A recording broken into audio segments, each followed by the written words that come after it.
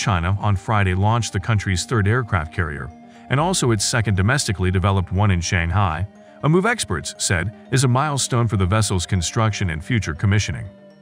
Having a displacement of more than 80,000 tons, the carrier, named Fujian, is the country's first one equipped with electromagnetic catapults and arresting devices.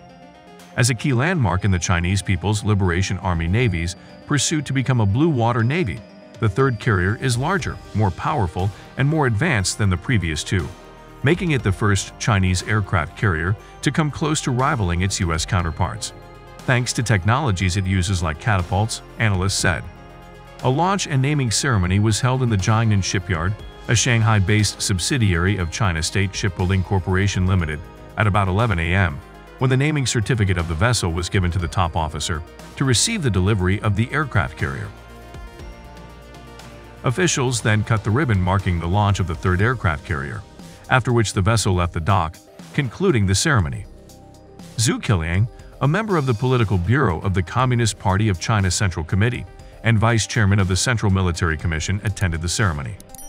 According to the approval of the Central Military Commission, China's third aircraft carrier is named the Chinese People's Liberation Army Navy ship Fujian and given the hull number 18. The Fujian is China's first fully domestically developed and constructed aircraft carrier with catapults. It has a flat, straight flight deck equipped with electromagnetic catapults and arresting devices, and has a full displacement of more than 80,000 tons. Fujian is also the name of the eastern coastal province facing the island of Taiwan, leading to speculations from netizens that the carrier could play an important role in safeguarding China's sovereignty, territorial integrity and development interests in the Taiwan question.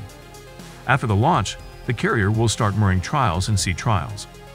The launch is a milestone for ship construction, as it indicates that the main structure of the vessel is complete. After the launch, outfitting work will be finished fully furbishing the ship with equipment like fuel pipes, gas pipes, electric devices and weapons systems, Song said. Since this is China's first large aircraft carrier equipped with catapults, the outfitting works might take longer than usual to make sure everything is done properly, he said. A number of sea trials will be carried out after the outfitting work is complete, and the aircraft carrier will hopefully be delivered to the PLA Navy in two to three years from now, Song said. By comparison, China's current two aircraft carriers. The Liaoning and the Shandong both have a displacement of about 60,000 tons and use ski jump ramps to assist aircraft launch. Being larger means the Fujian can carry more aircraft. Using catapults to replace the ski jump ramp leads to a significant increase in aircraft sortie rate, allows aircraft to take off carrying more fuel and munitions, and enables heavier aircraft like early warning aircraft and cargo planes to operate on the carrier. Electromagnetic catapults are superior to their steam counterparts because they are lighter, use fewer resources, recharge faster, and can change power output to match the launch needs of different types of aircraft, observers said. Media reports speculate that the Fujian could eventually get an improved version of the J-15 heavy fighter jet, compatible with catapult launch, an electronic warfare variant of the J-15, a next-generation stealth fighter jet reportedly to be called the J-35, a fixed-wing early warning aircraft dubbed the KJ-600, and armed reconnaissance drones. The Fujian will become a key landmark in the PLA Navy's pursuit to become a blue water navy as well as China's shipbuilding and defense industries, as it is larger, more powerful, and more advanced than the PLA Navy's previous two carriers, Song said. U.S. most advanced aircraft carrier, the Gerald R. Ford class, has a displacement of about 100,000 tons, is equipped with four electromagnetic catapults, and uses nuclear power.